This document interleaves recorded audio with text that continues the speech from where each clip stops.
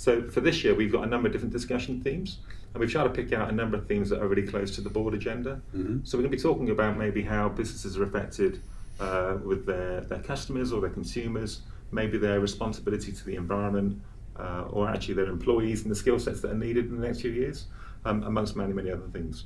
We'll also be talking about ethics, etc. So we're really keen to understand how technology may impact on some of those areas and that what, what that means to businesses. Mm-hmm. Do you think kind of the scale of change and the speed of change is something that every organisation should understand and, and, and assess?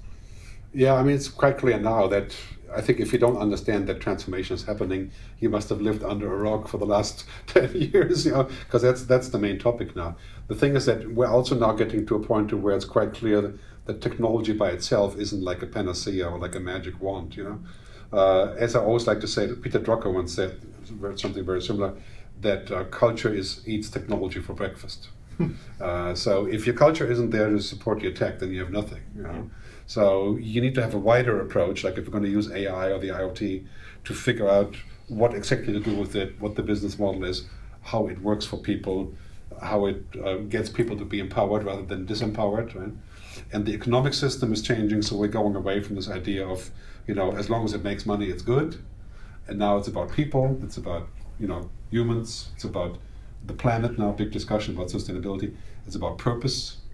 Well, companies that don't have purpose are going away. Yeah. Right. And then it's also about prosperity.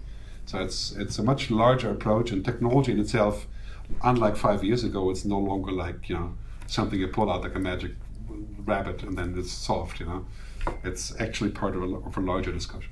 And you think some of these these new technologies that are coming through can really help some of the biggest challenges in the world today? Well, technology holds the answer for all the stuff that technology can do, you know, like water, energy, food, diseases, aging, you know, things that are of that nature. Yeah. Technology will not help us with social problems or political problems or conflicts or religion or whatever you want to call it those are human things, right? So we cannot use technology to solve political problems. And, uh, in fact, technology makes it worse, as we see in social media.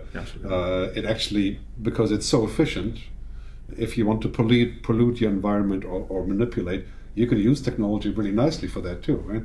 So technology is good for those things that uh, are that are about data, information, and efficiency, and it's not so good to be used for uh, you know human decisions and societal issues. You know, we have to use technology to as a tool. You know. Okay, so um, and this year, so you're going to come to the home of Concorde, Probably your first trip to the museum in, in Bristol. It's going to be a great location, and so, you know we're really lucky to have that as a backdrop. Mm-hmm. Um, but some pretty cool stuff happening within Bristol, within the southwest region. Uh, what, are, what are your thoughts about coming to Bristol and the southwest and actually meeting a load of business leaders and presenting in front of that iconic backdrop that we've got there within the city? Yeah, I, I, I, think it's exciting because you know the UK has a history of of doing the sort of local places that are erupting in, in innovation in different ways. Unlike, for example, Germany, where it's mostly either one place or all of Germany. Right?